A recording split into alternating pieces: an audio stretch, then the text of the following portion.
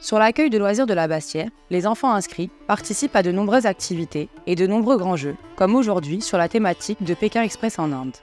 Tout au long du mois de juillet, nous leur avons proposé différents ateliers, ainsi que des jeux et des sports typiques de l'Inde, comme le lagori, pochampa, le hockey, le cricket, la gutte et le nondi.